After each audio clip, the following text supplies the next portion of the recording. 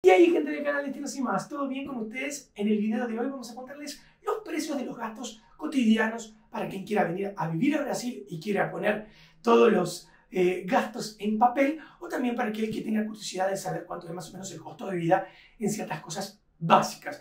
Así que si estás aquí para saber cuánto vale la luz, el gas, el transporte, los alquileres y mucho más, quédate que aquí te lo vamos a contar.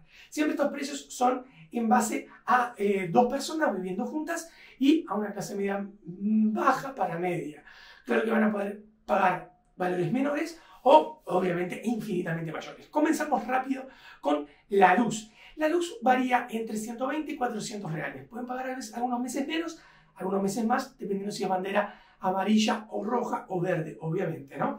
Entonces el cálculo es entre 120 reales y 400 reales, que equivalen a 23 dólares o 77 dólares. O sea, entre 23 y 77 dólares les va a quedar la cuenta de luz. ¿Por qué? Porque obviamente en Brasil se utiliza mucho eh, también los lluveros eléctricos y eso gasta mucho cuando te tomas baño, pero hay muchas casas que utilizan eh, el, gas para calentar el agua. Por eso el gas puede variar entre 70 reales y 200 reales, que sería más o menos entre 13 y 38 dólares. Obviamente eso va a variar, depende de cuánto cocines, porque las cocinas obviamente esto es un cálculo de las casas que tienen tubulación, tubos de gas, no aquellos que compran las garrafas de gas, pero más o menos eso es lo que van gastar dos personas viviendo bastante tranquilos. Obviamente puede llegar a gastar más, pero entiendan que el gas puede llegar a salir caro por mes por esto mismo, porque hay casas que calientan el agua eh, que se toman en el baño eh, por gas. Alquileres, y acá es bien complicado porque cuando ustedes vienen a Río de Janeiro a alquilar una casa, hay tres precios que ustedes tienen que considerar. Y cuando ustedes entran en estas casas de internet, les va a decir el alquiler, pero además tienen que considerar el condominio, que serían los gastos comunes, y el, y el IPTU, que es el impuesto a las casas. Entonces, alquileres en Río de Janeiro para las personas normales, clase media, baja, media, están entre mil reales y tres mil reales.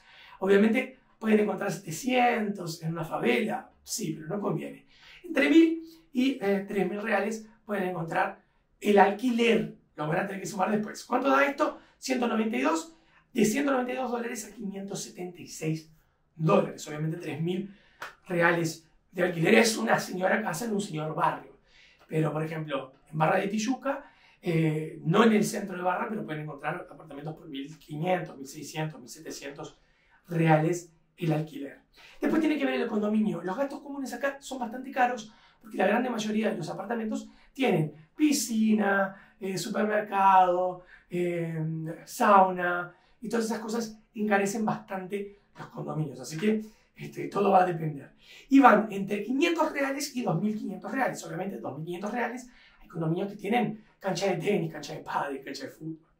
Y esto equivaldría entre 96 y 400 80 dólares. El condominio, o sea, tienen que sumar el alquiler más el condominio. O sea, si van al más barato, van a tener que sumar 1.000 reales más 500 reales más el IPTU, que eso va a depender del barrio y los metros cuadrados que tengan construidos. Que puede ser más o menos entre 70 y 500 reales, más o menos. Que equivaldría entre 13 y 96 reales. Ya estoy hablando del más caro, tipo casas en barrios buenos, si se van a Barrio Tijuca, más metros cuadrados, o Recreo, más metros cuadrados. Si se van a zona sur, no tantos metros cuadrados, pero en Copacabana, Ipanema, cerca de la playa y todo eso. Seguimos con el transporte. El medio de transporte es algo que lo vamos a usar todos los días. Ómnibus. ¿Cuánto cuesta el ómnibus? 4,5 centavos. 4 reales y 5 centavos, que equivalen a 78 centavos de dólares. El BRT es un ómnibus de vía única y él cuesta lo mismo que el ómnibus, 4,5 centavos. El metro es un poquito más caro, subió este año a 6 reales con 50, que más o menos da un dólar con 25. Y el VLT, que es un tranvía, un tren de superficie, lo pueden pagar al mismo precio que el ómnibus, 4,5. Pero existen algunas integraciones comprando estas tarjetas que les estoy mostrando ahora, que tienen todos los medios de transporte, que les va a salir un poquito más barato, como por ejemplo, si ustedes se toman un metro y al mismo tiempo el BRT, les va a costar todo 8,15 reales, que equivale a un dólar con 57. Compras del mes, ir comprar comida para el mes entero. Más o menos el cálculo de una buena compra del mes, sin grandes marcas y sin lujos, pero una compra del mes suficiente sin, sin llorar, les saldría saliendo entre 700 reales y 1100 reales. Una compra decente para dos personas con frutas, carnes, pollo, este, leche, eh, Nescau y un montón de cosas, pero sin grandes lujos. Entonces la compra del mes la van a tener por 700 a 1100 reales, que equivalen a 134 dólares hasta 211. Una buena compra del mes. Pueden gastar más, pueden gastar un poquito menos, pero más o menos esos son los precios. Plano de celular, plan de celular para poder tener internet en tu celular y obviamente llamadas e internet. El plan, un plan bastante barato de la empresa Vivo, que es súper conocida, que tienen más o menos unos 43 gigas por mes, les va a salir 89 reales, que son aproximadamente 17 dólares.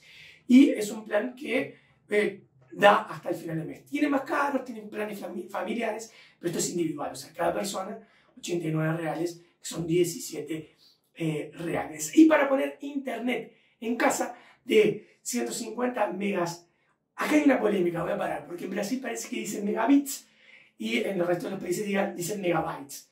Y acá hay una polémica. Lo más probable es que sea 15 megas de subida y 30 de bajada. Acá dicen 150 y 300. Corríjame quien se, sepa más, pero me imagino que son 15 en tu país. 15 megas de subida y 30 de bajada.